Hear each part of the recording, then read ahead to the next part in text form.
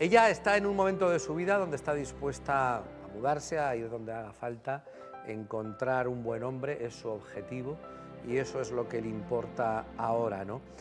¿Saben cuánto tiempo lleva Ángel hablando con este programa? Cuatro años, Ángel, por lo menos. Sí. Ángela nos llamó por primera vez en el año 2019. Se sentía muy sola. Su marido ha estado ocho años en una residencia con demencia. Por eso les decía que hoy las historias de nuestros dos invitados tienen ciertas similitudes. Todavía estaba vivo. Ella estaba casada con él, lógicamente. ¿Y saben por qué llamaba al programa? Porque aquí siempre había alguien que la atendía. Porque aquí, en este programa, siempre había alguien que hablaba con Ángel. Siempre que ella se sentía sola, que no tenía con quién compartir su momento de dolor y no quería entristecer a sus hijos, su paño de lágrimas era este programa.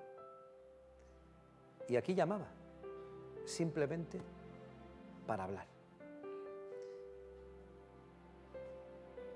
Pasó el tiempo y hoy se sienta aquí con nosotros como invitada.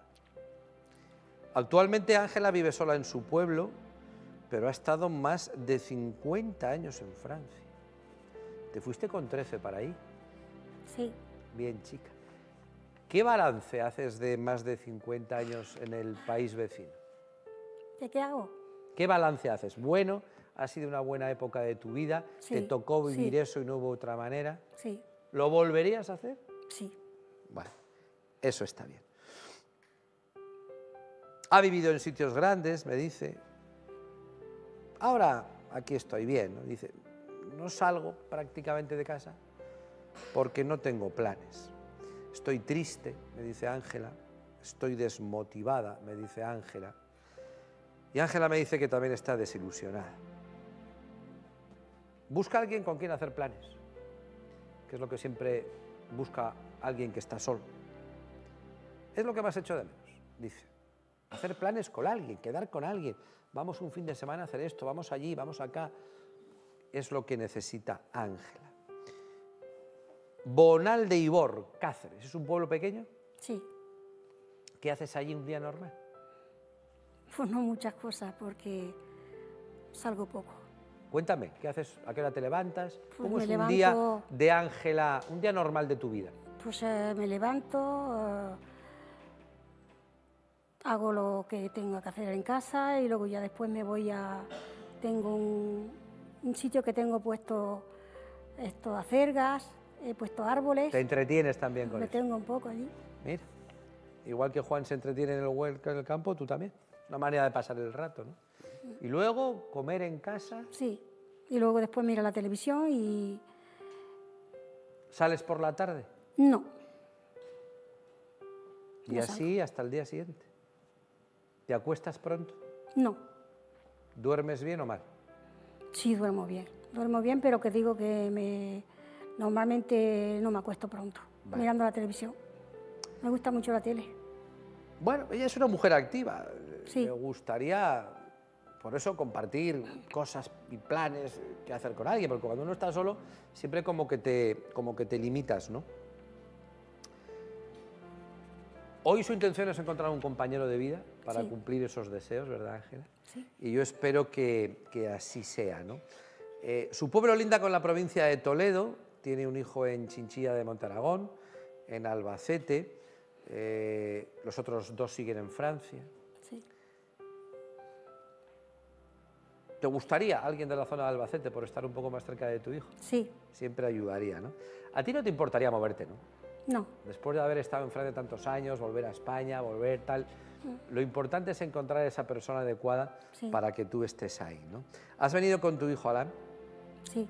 Está ahí entre nuestros amigos de los Navalucillos. Alan, buenas tardes. Hola Ramón. Bueno, em, mamá yo creo que está un poco desubicada. Sí. Tengo la sensación un poco después de leer su historia, han sido muchos años en Francia, eh, volver al pueblo, eh, un cambio de vida muy grande, eh, y esa sensación de soledad, pues lógicamente la, la acompaña. ¿no? ahora hay muchos señores que están viendo el programa y dirán, mira, pues yo también estuve en Francia, hay mucha gente que, como decía mamá, pues tuvo que emigrar o fue con, cuando eran críos, ¿no? Y que pueden encajar muy bien con, con mamá. ¿Tú qué les dirías más de, de, ella para que la conozcan un poco más antes de, de charlar con ella? Porque pues es una persona pues, muy activa, le gusta siempre estar haciendo cosas en casa o, o en el jardín, es muy generosa con todo lo, lo, demás, siempre le gusta ayudar, eh, es una persona muy simple. ¿Qué tipo de señor encajaría bien con tu madre? Pues una persona que sea cariñoso sobre todo, porque necesita cariño. Uh -huh. eh, alguien pues, que esté un poco aseado, de su... Chico limpio. Sí, de su misma edad, uh -huh. si es posible. Y que la saque, que la, le guste hacer planes. Pues vamos a ver si hoy tenemos suerte. Yo te sí. agradezco mucho que hayas venido con mamá hoy. Gracias. Y vamos a ver si encontramos ese compañero de vida para tu madre, ¿vale? Vale. Gracias, Gracias. por estar con nosotros, Gracias. Alán. Eh, vamos eh, hasta la localidad cacereña de Bonal de Ibor. Allí nació hace 74 años Ángela. Fue la segunda de cinco hermanas. Papá y su madre eran agricultores, trabajaban en sus propias tierras. Papá un hombre estricto. Mamá tenía, dice, tenía mala leche. Y así que el ambiente en casa había que estar rectos allí, ¿no? Porque entre los dos aquello era, era un poco complicado. Eh, pero así todo, a pesar de que el carácter de los padres eran unos padres serios y rectos, tienes un buen recuerdo de la infancia. Eso es, es bonito. ¿Cómo era aquella casa? ¿Cómo, cómo la recuerdas? ¿Dónde? Aquí en... Sí, cuando eras tú pequeña, Bonal de Ibor. Era muy pequeña la casa, pero bueno. ¿Y te acuerdas bien de ella? Sí, sí. Vale. Eh, eran chiquillos, jugaba con sus primos, ahí en un pajar que tenían, por lo que se hacen los pueblos, lo que se hace en los pueblos. ¿El colegio no lo recuerdas mucho? No, no iba poco, porque como estaban mis padres en, fuera en el campo, nos quedábamos allí todos, en el campo. Uh -huh. Le gustaba cuidar de los cerdos de la finca que tenían los tíos. Con 11 años eh, estuviste recogiendo algodones en Talavera la Vieja. Sí. Dormías en casa del capataz. Y dice, el trabajo no me entusiasmaba mucho, pero era lo que tocaba. Había que hacer aquello, eran aquellos tiempos. Y cuando tú tenías 13 años es cuando toda la familia eh, se traslada a Francia. Me imagino, lógicamente, que esto fue una decisión de tus padres. Eh, ¿Cómo llega esta eh, iniciativa de irse a Francia, esta posibilidad de irse a Francia a cambiar la vida? Pues es que mi padre se había ido antes y no podíamos irnos porque no había, no había una casa para irnos. Entonces, en aquellos tiempos no había casas. Y entonces mi madre vino, eh, un señor vino de Francia y vino en, una, en, un coche y mi madre se enteró y fue a hablar con ese señor y, le, y qué casualidad que le, que le conocía a mi padre. Mira. Y entonces dijo, dice, ¿cuándo se marcha usted otra vez para Francia? Y dice, pues tal día. Mi madre cogió, fue a hacerse el pasaporte a Cáceres y fue a hacer, nos metió a todas las cinco porque éramos menores, nos metió a todas las cinco en, en, en, el pasaporte y a Francia. ¿Y a Francia? Y nos fuimos sin que mi padre nos llamara ni nada. Yo, es que de verdad, las historias de, de, nuestros mayores son espectaculares.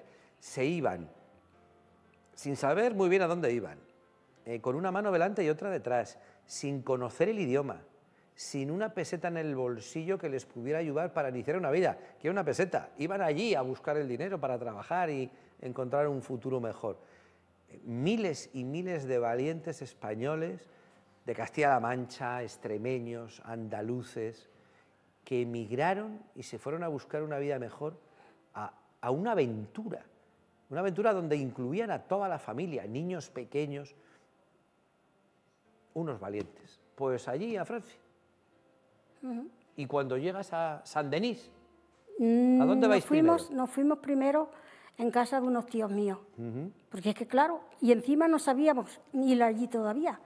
Gracias a un señor que se paró en un sitio que era un bar como, o sea, un eso, que, era, que había muchos españoles, Y dice, yo creo, dice que aquí le van a conocer.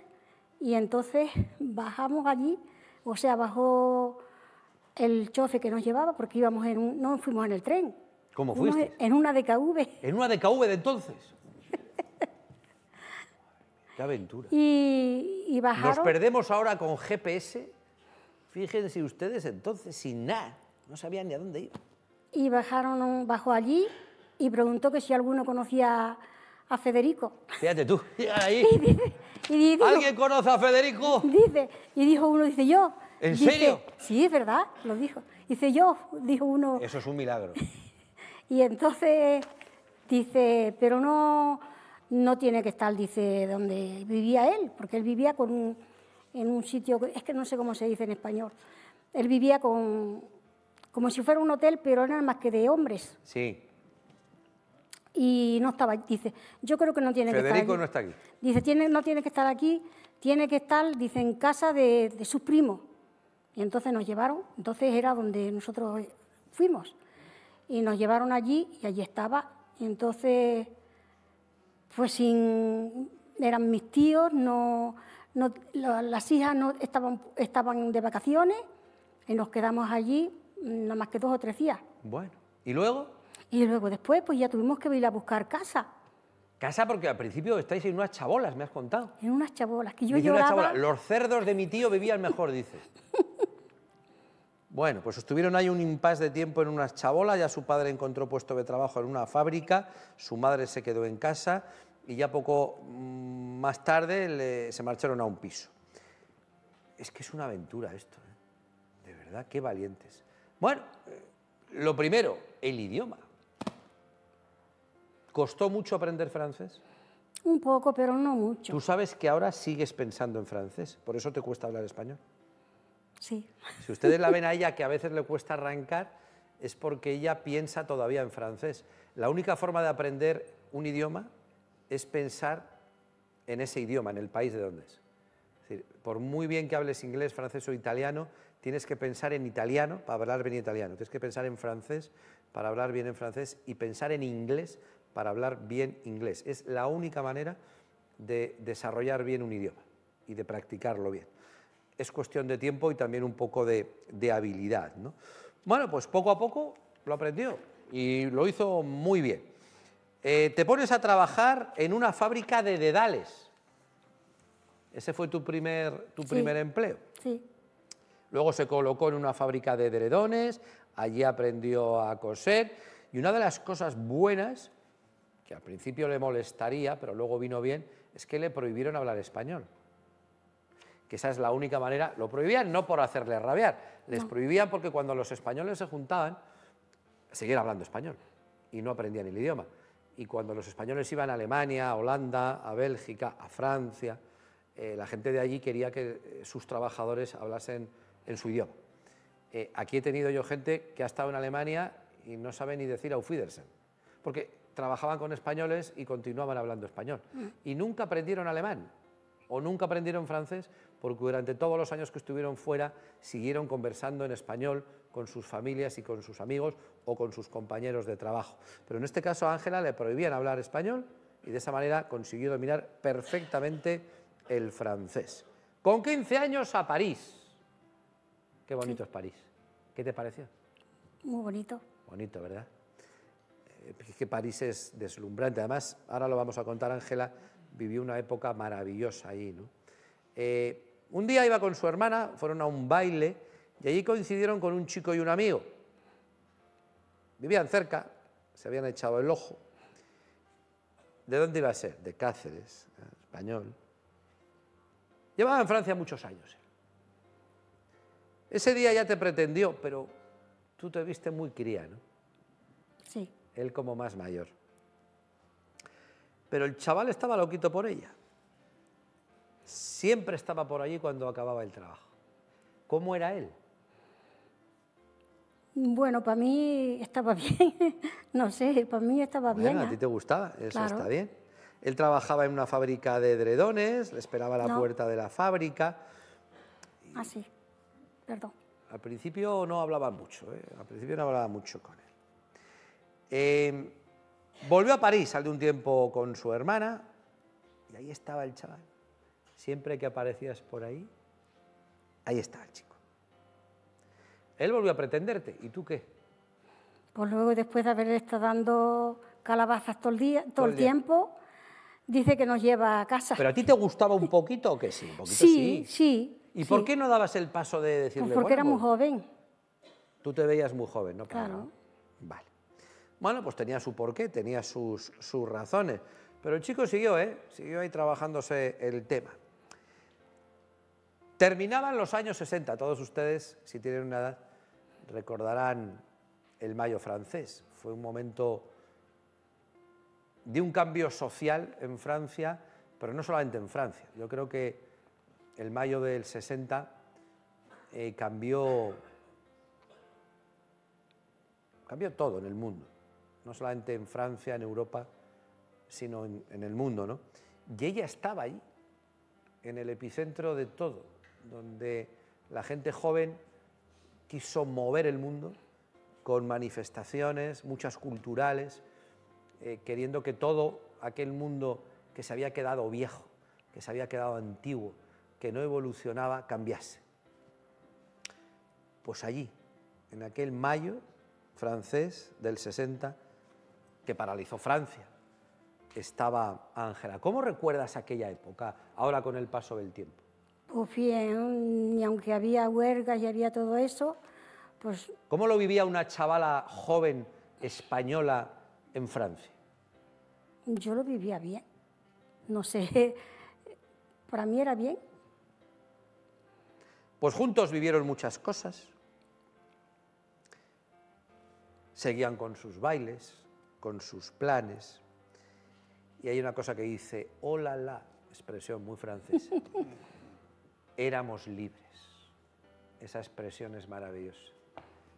Esa sensación de libertad era algo que llenaba a la gente joven de aquella época y fue lo que movió toda esta revolución. Eh, llegó el momento de pedir la mano porque aquella relación siguió adelante y esto que sí era muy a la antigua y muy española, eh, el chico fue a pedir la mano a papá. ¿no? ¿Cómo sí. fue eso?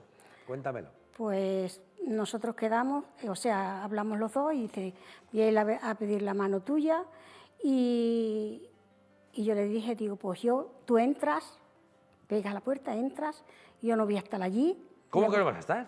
pues no. ¿Pero por qué no? Pues yo qué sé, me daba vergüenza o yo qué sé. Ah. ¿Y papá sabía algo o no? No, no sabía o nada. sea, la idea es que tú hablas con él y dices, tienes que ir a pedirle la mano a mi padre. Vale, vale. Entonces, quedáis que tú cuando, cuando él va para allí, tú te vas. Vale. ¿Y cómo, lo, cómo salen las cosas? Pues yo me fui a casa de una vecina y, y él fue y mi padre le dijo, dice, vengo a pedir la mano de, de su hija Ángela. Y entonces mi padre le dijo que si... Tu padre, recordemos que era más recto que la leche. Sí, pero luego después era bueno. Luego ya bien. Sí. Vale, vale, me alegro. Pues sí, mi padre era abierto. Vale, ¿Y, ¿y tu padre qué le dijo al chico? Dice, pues yo di- digo que si vienes para reírte de ella, que no. Dice, pero si viene en formalidad, sí. Y entonces dijo él que venía en formalidad. Bueno, a ti todo esto te lo contó después, claro. claro. Tú estuviste en casa la vecina, él estuvo con tu padre hablando y, Y cuando, cuando acabó él- todo ya te lo dijo. No, cuando él salió, Ah, estaba, Saliste tú. Salí yo, entré yo. Entraste tú a la casa y te dijo algo tu padre. No, Nada. Y tú a él tampoco. no. Qué pedidas de mano, qué cosas, ¿eh? Sin decirse y nada de nada. Bueno, pues así ya, ya erais novios. Ya era formal aquello. ¿Teníais horario de entrar, de salir? Sí, a las nueve de la noche, por eso digo que mi padre era recto. Mi- a las nueve de la noche teníamos que estar allí. Yo también recuerdo cuando he ido a Francia que todo se hacía muy pronto. Yo siempre tengo ese recuerdo. Francia se come muy pronto, se cena muy pronto, la gente se va a la cama muy pronto, todo era muy pronto. No se rían, que es verdad. Todo muy pronto ahí en Francia. Por eso, claro, también había que quedar pronto. Y eso había que llevarlo a rajatabla, ¿no? ¿Y qué hacía una pareja de, de chicos jóvenes novios en París? ¿Qué planes teníais? ¿Qué hacíais por ahí? Pues íbamos al cine, más al baile que al cine. Más os gustaba más el baile. Sí, íbamos a París, eh, luego yo después, mi marido tenía coche. ¡Oh, la, la! El baile en París. Ahí estaba Ángela con su novio, este gemeño.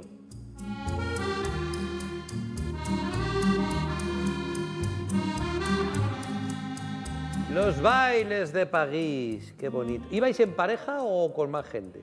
Íbamos otra hermana mía, siempre salíamos juntas. Otra hermana mía, la mayor, su novio y mi marido y yo, Dos parejitas. dos parejitas. Y ibais juntitos Íbamos. a bailar o al cine o a lo que cuadrase. Bueno, pues así fue el noviazgo durante el tiempo que duró, hasta que con 19 años, después de esos cuatro años que duró el noviazgo, te vas, te vas a casar. Te casas en San Denis.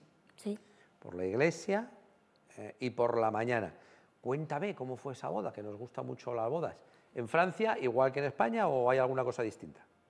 Mm, Bueno, que el cura no. habla francés. No, era español. Ah, en español también el cura. Claro. bueno, vale. Yo digo, se han casado en francés. No, en español. Vale, vale. Al ayuntamiento en francés. Y luego después la iglesia había un centro que lo llamaban el hogar de los españoles, que había iglesia y luego después había música para ir a bailar y había todo. Hacéis ahí, todo ya en el mismo. en y ahí me casé, ¿Y el cura español? sí, ¿De dónde era el cura? No te acuerdas. no lo sé. Eh, ¿Por la mañana hubo baile luego? Sí. Eh, nos casamos por la mañana y luego después por la tarde Sí. eh, fuimos a un,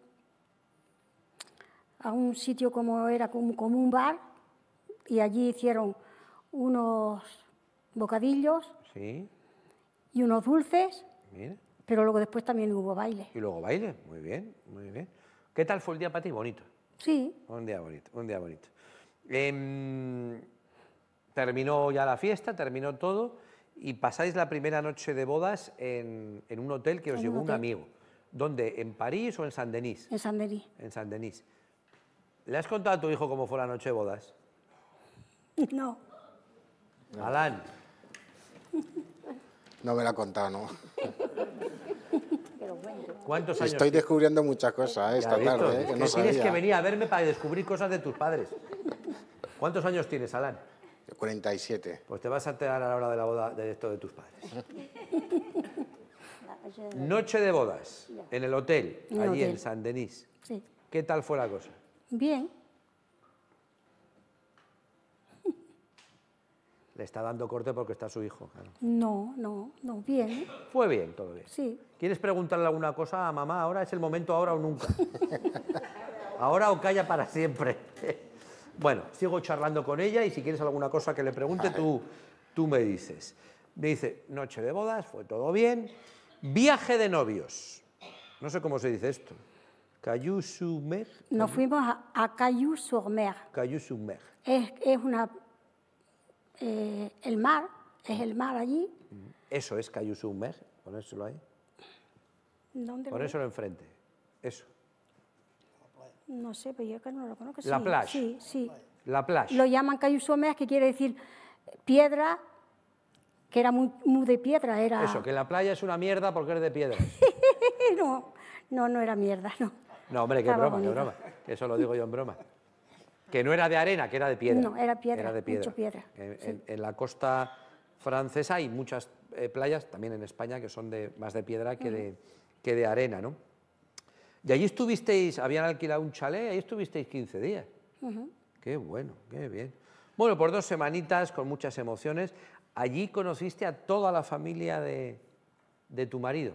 ¿Eran de allí? No, ¿Vivían allí no, o sea, habían vivían allí, vivían allí. Vivían allí. Ellos se fueron antes a Francia que nosotros. Vale. Bueno, pues así arrancó el matrimonio. Ella trabajaba en una fábrica de condensadores, tu marido es cayolista. eh, ella trabajaba fuera de casa, es decir, en aquella época donde, por ejemplo, en España la mujer se casaba, tenía que dejar de trabajar si trabajaba y quedarse en la casa, en Francia no. En Francia ya la mujer tenía la libertad de poder seguir trabajando. No es que estuviese mal visto, es que estaba bien visto, es que era lo normal que la mujer también trabajase y aportase pues, su sueldo a la economía familiar. ¿no?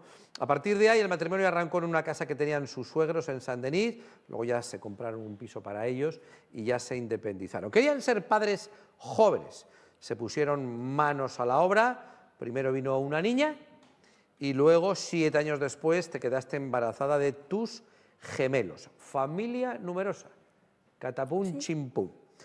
Em, por mucho adelanto que hubiese, porque lo había en Francia, había cosas que a pesar de ser Europa no cambiaban. Es decir, que el padre no echaba mucha mano con los niños, ¿no? El tema de los niños, ¿quién los cuidaba? Aquí la jefa. Yo. Eso le tocó, le tocó, le tocó a Ángela. Bueno, eran así, ¿no? Luego se compraron un chalet, ¿en dónde? ¿Cómo se llama la localidad esta? Drancy. En Dancy. Bueno, pues ahí se llevó a sus hijos, se organizó para hacer horas limpiando también casas. Tú, Ángela, has trabajado mucho también, ¿eh? Mucho. Has compartido muy bien el trabajo de ser madre, porque es un trabajo. Estar en casa es un trabajo de ama de casa. Eh, y ella además lo compatibilizaba con el trabajo en esta época, pues cuidando y limpiando casas, ¿no? Había que tener la comida hecha para los niños, la ropa lavada, planchada, en fin. Eh, las mujeres saben lo, lo, duro que es esto, ¿no? Y sobre todo en esta, en esta época. Y aquí me habla Ángela, que aquí se empezó a torcer un poquito el día a día con tu marido, que empezó a cambiar de hábitos. ¿Qué pasó en esa época? ¿Qué crees tú que pasó con él? Pues es que no lo víamos, pero él ya empezó con el Alzheimer. ¿Con quién, perdón? Yo digo que mi marido ya empezaba con la Alzheimer. Lo que pasa es que no, no, no daba la cara. No daba la cara. Mm. Empezó a cambiar de carácter, empezó con faltas de respeto. Claro, cuando de repente pasa eso y no hay un porqué, al principio no sabes lo que pasa. Y ese es uno de los detalles, de los muchísimos, que tiene no solamente el Alzheimer, sino muchas enfermedades que tienen que ver con la mente. Eh, cuando pasa eso, y lo digo porque igual a alguien le está pasando en casa, por favor, id al médico.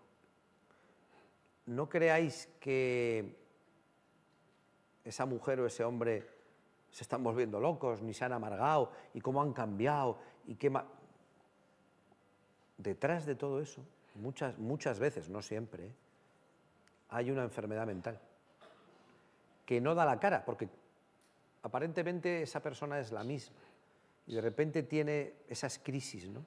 de mal carácter, de falta de respeto, de frases que no es habitual en él, de desplantes, de situaciones desagradables que no le pegan nada además a esa persona. Pero eso pasa.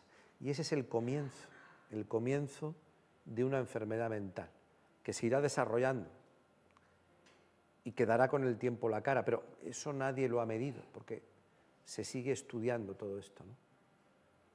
Ténganlo en cuenta, porque es importante.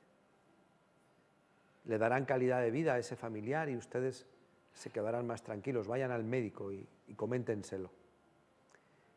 Todo eso fue avanzando, ¿no? Pero la vida seguía, Ángela. Tuvo eso al principio, claro, ahora ya sabemos lo que le pasó. Pero entonces, ¿tú qué pensabas cuando de repente tenía esas salidas de tono o, no, no era el hombre que tú habías conocido? ¿Tú qué pensabas que estaba Yo sucediendo? Sé, pero que no encontraba normal que hiciera eso. Que era raro aquello. Claro. ¿Tú lo hablaste con él? Sí, pero él decía, perdóname, pero dentro de dos días volvía otra vez. Compraron una casa en el pueblo. Ellos, eh, hablando con los años, sus padres volvieron al pueblo y su marido y ella compraron una casa. ¿no? Volvían por vacaciones. Las raíces, ¿verdad? Las raíces tiran. Después de unos días en el pueblo se solían ir a la playa, en fin, eh, las cosas de aquella época, ¿no? En el hogar de los españoles que antes nos nombraba, intentaba allí pues pasar un tiempo también. Y luego se hacían sus viajes, Venecia, Austria, Inglaterra, Andorra. dice, Ramón, éramos una familia muy unida y en aquel momento, a pesar de aquellos momentos de crisis que tenía, me dice Ángela que tú estabas bien. Dice, yo no necesitaba por aquel entonces nada más. ¿no? Pero los problemas siguieron. Porque cuando tienes eso, no se para. Va a más poco a poco. Por fin al médico. Ya vais al médico. ¿Y qué te dice el médico, Ángela? ¿Qué os dice? No, lo que pasa es que vamos al médico, pero no le mandan a él ir a ver a un psiquiatra. ¿A un psiquiatra? Sí pero no continúa haciéndolo. Él sigue igual. ¿El psiquiatra le dio algún diagnóstico? Porque hay algún momento que le dicen que tiene demencia. ¿No qué? Que no le dicen nada. No le dicen nada. O, al menos yo no, lo sé, porque como a esos sitios se tiene que ir solo, no dejan entrar a nadie. Bueno, pues aquello se fue complicando, los días se volvieron, me dice Ángela, interminables. Y un día, me dice, en unas vacaciones con sesenta y tantos años, hubo un suceso y- y ya Ángela tuvo que parar aquello. ¿no? Eh, entre sus hijos y ella decidieron ingresar a su marido en una residencia porque lo que tenía, aquella enfermedad, eh, no podía estar solo en casa. ¿no? Y a partir de ahí, eh, la medicación para él, sus problemas. Estuviste tres años sin verle. ¿Y eso? Tocó así. Tocó así. Volvió a verle a la residencia, ya no le reconoció a Ángela.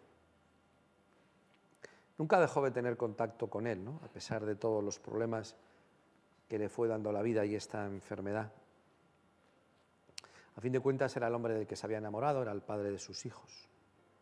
Ocho años después de aquella separación física se quedó viuda. Y a pesar de todo lo pasado, pues fue un momento muy duro. Y volviendo al principio, desde hace cuatro años Ángela está en contacto con nosotros, habla con nosotros. Éramos un poco aquí su paño de lágrimas y de problemas, ¿no? Y hoy se ha sentado frente a ustedes.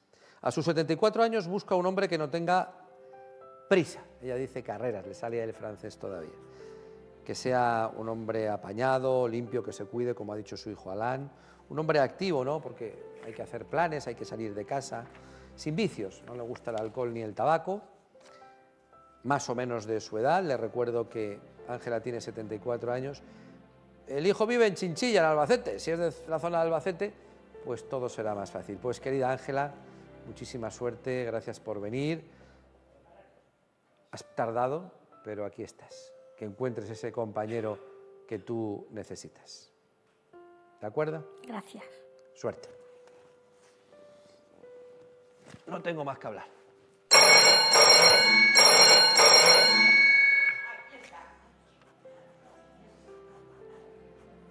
Me comunican que están pinchando la línea telefónica. A ver si conectan ya con el, con el señor y podemos charlar. Les recuerdo que Ángela ha venido desde Bonal de Ibor, en la provincia de Cáceres, que tiene 74 años, que lleva viuda aproximadamente un año y con tres hijos y dos nietos. Eh, me dicen que ya está esa persona al teléfono. Buenas tardes. Venga, vale. Está hablando con el compañero en la redacción. Venga, hasta ahora. Adiós, Majo. ¡Hola! Soy Ramón, Hola. buenas tardes. Hola, Ramón, ¿qué tal? ¿Cómo estás? Estabas hablando con algún compañero o compañera en la redacción. Eh, sí, sí, muy, sí. muy bien, ¿y tú cómo te llamas? Yo me llamo José. Hola, José, ¿desde dónde nos llamas? Pues mira, te llamo de Arena de San Pedro. De Arenas de San Pedro, muy bien. Pues gracias por estar con nosotros. Oye, no solo, escúchame, ya me gustaría darte un abrazo como el que nos dimos hace muchos años. Bueno, ¿y no- nos conocemos? Pues sí, cuando estabas haciendo la, la vaquilla, yo estaba en, en iluminación, en televisión. Estabas en iluminación en la tele, me caché la mar. Joder. Pues ya nos lo daremos. ¿Qué, qué fue? ¿En Buñuel o en Prado? Exactamente, mira, ya hace años. Joder. Bueno, bueno. Exacto. Oye, José, pues ya hablaremos de eso en otro momento. Ahora te agradezco mucho la llamada por Ángela. Eh, vamos a recordar, para que Ángela lo sepa, ¿cuántos años tienes tú, José? Se fue. 74. 7-4. Muy bien. ¿Estado civil? Viudo. ¿Hace mucho, José? Viudo. ¿Hace mucho tiempo? Eh, ¿puede- Uh, desde el 2004. Vale. Eh, José, ¿tienes la tele puesta? Si Desde baja- el 2004. José, si tienes la tele puesta, baja el volumen, por favor. Y no hablamos solo por el teléfono. Ya te hablo por el teléfono. Así no tenemos interferencias ni líos. Vale. Venga, vale. Me has dicho que viudo. Perfecto. ¿Hijos? Eh, dos, Dos, me has dicho también. Vale. dos niñas. Dos chicas. Independientes ya, eh, supongo, José. uh, uh, uh. La, me- la menor 42 años. Pues fíjate tú. Fíjate Y con, tú. un, con tres nietos que tengo. Bueno, pues enhorabuena, abuelo. Oye, José, ¿qué te iba a decir? Dime. he estado charlando con Ángela. Ángela todavía le cuesta expresarse porque sigue pensando en, en- en francés, ¿no? Y es más parca en palabras, ¿no? Em, Sí. ¿Qué te ha llamado a ti la atención de Ángela? ¿Por qué nos has llamado tú interesándote por ella? Te voy a decir una cosa. A mí, yo, mi mujer que para descanse, fue extremeña, de Badajoz, y, son, y son unas mujeres muy cariñosas. Bueno, Y entonces, la parte que es guapa, y luego me, ha gustado la tranquilidad que tiene. Perfecto, pues mira, eh, yo os voy a presentar ahora, eh, le daremos tu número de teléfono a Ángela, José, para que ella te llama cuando tenga un rato, nosotros ya no estaremos en esa conversación y podréis hablar vosotros tranquilamente de vuestra vida, os preguntáis las cosas que necesitéis saber, pero eso ya como nos gusta a nosotros lo dejamos eh, en vuestra intimidad. Eh, te saluda ahora Ángela. Ángela, en esa cámara que se acaba de encender, ahí está José. Cuando quieras puedes hablar con él. Hola, José. ¿Qué tal? Hola Ángela, buenas tardes, ¿qué tal? Buenas ¿Cómo tardes. estás? Bien. ¿Y, y tú? Yo muy bien, muy bien. Mira, viéndote por televisión. Pues bien.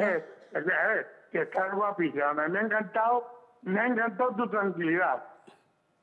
Y aparte, eres extremeña como mi mujer que, que para descanse y como eras muy cariñosa, por eso me ha, me ha adelantado.